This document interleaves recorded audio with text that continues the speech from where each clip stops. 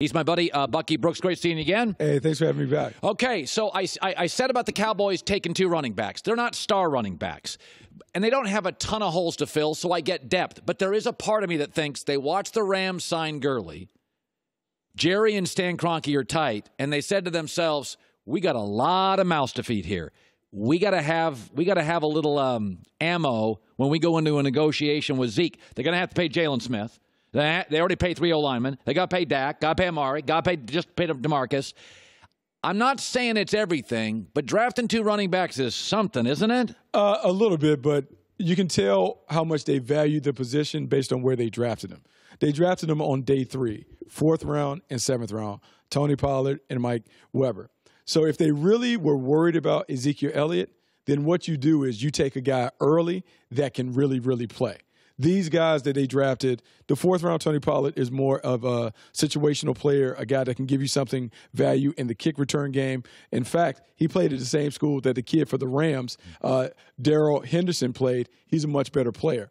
Weber, they took him in the seventh round. Really, in the seventh round, you're trying to get guys that you were going to sign as undrafted free agents. You just wanted to make sure that they're there. So these are more depth picks, guys that can spell him for a bit. But make no mistake, the Cowboys are committed to Ezekiel Elliott. Ezekiel Elliott is the guy that makes that offense go. And even though they're going to have to pay Dak, they also will have to pay the running back because he is the one that kind of makes that offense flow. And without him, that offense is different. Let's go to the Cardinals. Uh, I said before, um, I got why they went with Kyler. And selfishly at Fox and NFC Team Arizona, they'll be way more fun to watch. I would have kept Rosen, taken Bosa, and then first pick of the second round, I would have drafted the Mississippi State center. I'd have an anchor on the D line, an anchor on the O line going forward. Would you, if you ran the team, would you have done the quarterback thing all over again?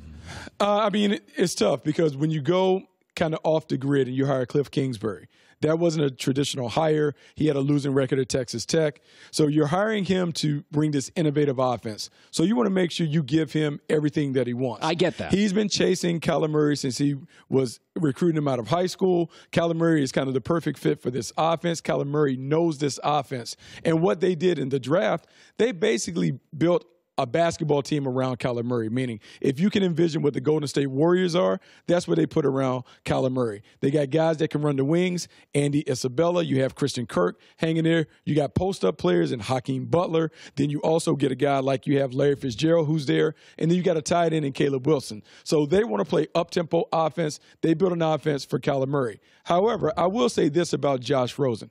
I think the Miami Dolphins might have stumbled into their version of Brett Favre meaning that years ago when the Green Bay Packers were getting off the ground as Ron Wolf, as Mike Holmgren, Ron Wolf made a trade with the Atlanta Falcons to get Brett Favre, who was lost in in in, in Atlanta for whatever lost. reason. For whatever reason, it wasn't working. One year in, he picks a guy based on his talent. The Miami Dolphins got a value pick, guy that was tenth overall. They got him for nothing. A second round pick, a second round pick. You're talking about chances of making it in the league, maybe forty percent. And they don't have in terms of doing it. Anything. Aren't paying him anything. Look, I would say the guy has talent. I thought last year he was the top quarterback in terms of the way that he played the game in Miami, which is going to be a smart offensive system. I can see Josh Rosen playing well. And if they hit on Josh Rosen, it frees them up to do so many other things when it comes to building up their roster.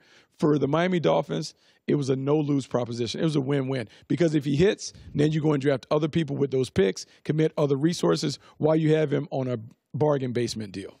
Um, I, I ask everybody this. I respect your opinion, number one. Secondly, I think the Raiders overpaid for their free agents and overdrafted most of their players, but they're now in house and they're all talented. Mm-hmm.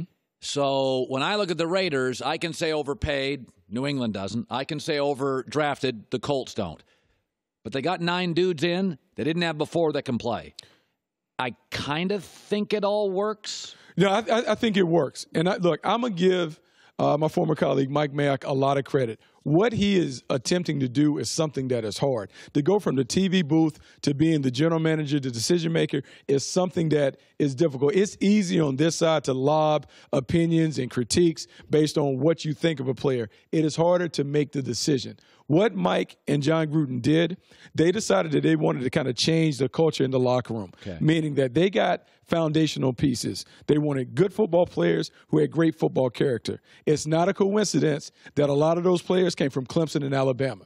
When you want to win, you go to winning programs. And more importantly, you go to guys who are captains of those teams. Now that's really interesting. Because they're the leaders of the winning program. So now, when Jon Gruden is standing at the room and delivering the message, those guys can carry out the message and hold the teammates accountable. This is a very big thing. Years ago, I got a lot of flack because I went on the air and I said, Connor Cook played at Michigan State. And I said, How in the heck can a senior quarterback, a third year senior quarterback, not be the captain of his team? Oh, it makes it matters. Okay, it matters, and then we, a, it matters we, a lot. And then stories came out. You're like, ah, okay, that's a really good point. Chris Ballard talks about that. I want guys who led their college teams. Absolutely. It's something that we always look for. Uh, when I was scouting with Carolina, John Fox was a big believer in the captain, uh, multi sport guys. But the captain of the team means something because he's comfortable standing in front of the team. Typically, if he's been anointed the captain and voted on by his teammates, he is the hardest worker. He is a guy that is respected for how yes. he performs on the field. And so when you're doing the makeover and you're turning over the roster, when you're the Raiders, you want those kind of guys. Winners know how to win. And it makes it a lot easier when you're trying to flip the switch to go. I want great guys that are outstanding workers who know how to win because they're winning to make they're willing to make the sacrifices necessary to win games. Okay, I'm going to throw this out there. Bucky Brooks, uh, former NFL defensive back scout, built the Panthers up, uh, uh, built the Seahawks up. So I have been labeled a hater. It's very hurtful. it's very hurtful. Um, there's a saying in the NFL don't collect talent, build teams. Cleveland went and got Greedy Williams. Mm-hmm. Okay. Really good GMs that needed corners passed on him, like the Colts. Uh, guys I respect in the league. So I look at Cleveland and I got Odell and I got Jarvis and I got Greedy and I got Baker. You know, say what you want. I still don't love my quarterback with police videos.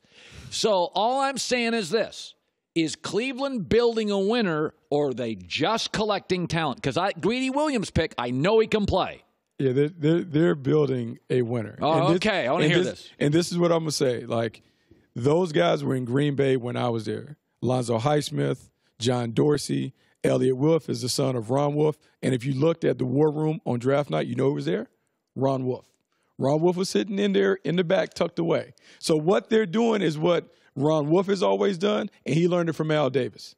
You can't go wrong taking a lot of talent. You have to have good players to win in this league. And when you take good players, it enhances your opportunities to win. Now, the pieces of the puzzle have to fit together, meaning they have to be good workers, good teammates. They have to kind of be pulling the boat in the right direction. But you have to have talent. And what the Cleveland Browns have, they have tremendous talent. When you look at their roster, I don't know if you can point to a glaring weakness on their roster. A linebacking corps is okay. It, it's okay, but it's not a glaring hole. Joe Schobert can play. They've had other guys. Christian Kirksey can play. They have solid guys that can play. I think it's a risk in terms of you have a first time head coach in Freddie Kitchens, and if you hit some adversity, how will they handle it? But man, you can't go wrong when you trot out Odell Beckham Jr., Jarvis Landry. You have Nick Chubb in the backfield. And now, look, it's going to be unpopular, but when Kareem Hunt comes back, he is going to make that offense dynamic. Say what you want to about the pre draft evaluation on Baker Mayfield. It works for them because Freddie Kitchens put him in an offense that works. Offensive line is solid. Mm-hmm. Then on defense, they benefited from Steve Wilks being fired in Arizona yeah. and coming in. He's a better defensive coordinator than Gregg Williams. They're going to be a better defense. And so this is a team that could be a bully in the AFC North. I know you don't like that. I, I, I know you don't like that. You don't want to see Baker go, but Baker and those guys, no, they're no. going. They're going. But time out. Baker Mayfield is welcome any day on this set.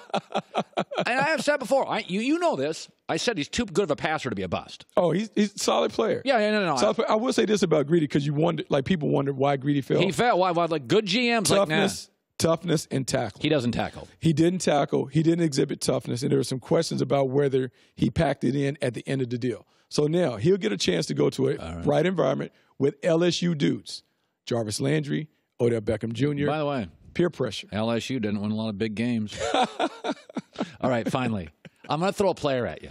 All right. There are players that I can see working in New England at a much higher level than they work other places. I just got one guy, Chase Winovich, Michigan. Oh, he's an ideal fit.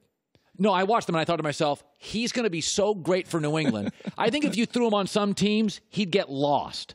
Yeah, he What do you can you tell he's a Michigan kid, what like I watched that and I thought that's a classic New England dude. is a classic dude. A few different reasons. Great motor, great intelligence, very productive. You could argue that he was more productive than the guy that was taken in Yeah. the first round, Rashan Gary. Secondly, people didn't pay attention to his numbers that came out of the combine. One of the top testers when it came to athleticism. So beneath the exterior is a talented athlete. The long hair kind of makes you distracted. Secondly, he fits the mold of the players that have been successful there. Think about Rob Ninkovich, who played the role. Uh, yeah, Hard yes, player off the edge.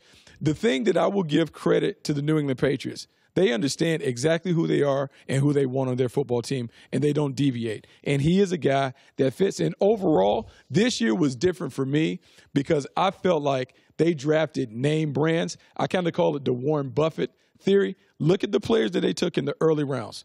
Good players, big schools, solid production. Those guys typically work. Good seeing you, Bucky. Thanks for having me. You bet. Hi, everybody. Thanks for watching. Subscribe here to get the latest from the show. Also, be sure to check out more of the best clips from The Herd or go watch a few segments from other shows on FS1.